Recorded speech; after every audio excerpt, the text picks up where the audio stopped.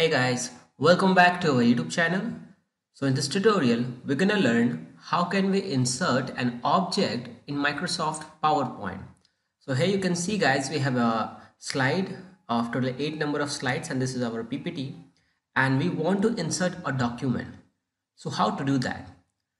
So to insert a document or we say an object in PowerPoint, we say an object. So how to insert an object?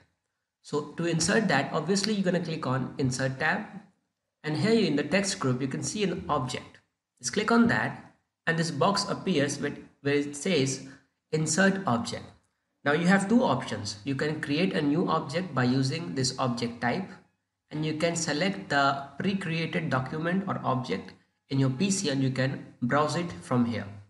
So what I'll do, I'll click on create new and see you can create uh, AutoCAD drawing, you can create a bitmap, you can create an Excel binary, you can add a macro file, you can add a gra graph, even you can add PowerPoint presentation, Word, uh, WordPad, packages, and many more.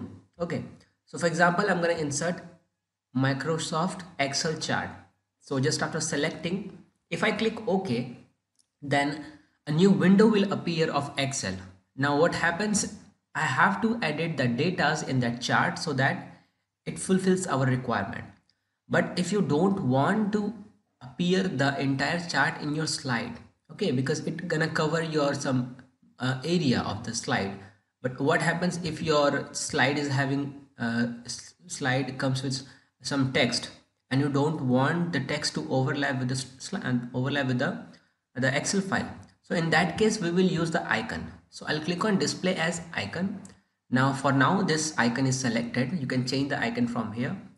If you click on change icon then you will have this box where you have loads of icon. So I'm gonna select this one because this one is the latest icon. So just after selecting click OK. And yes you can add the caption of the icon. For example I'm gonna add data of big IT companies and I'll click on OK. As you can see the new icon and the caption is written on the bottom side. Now if you click on OK then as I said a new window will appear of Excel chart. Now you can edit the datas from here and just after completing all the datas you know how to edit these datas. You can adjust the size from here okay and then you have to click on close now, as you can see, just after clicking on close, we have the logo that we have created and the captions written on the bottom side. You can adjust the size from here and you can move it wherever you want. Now, if you want to change the editings, uh, the format, then you can click on the drawing tool format tab. Now what happens here, you can change the style or change the uh, word style but we don't have any picture on the text. We have on the bottom side but we don't have the the text on the picture. So we can't it doesn't allow to edit the uh, word art styles. Okay so what we can change we can just change the file uh, shape color.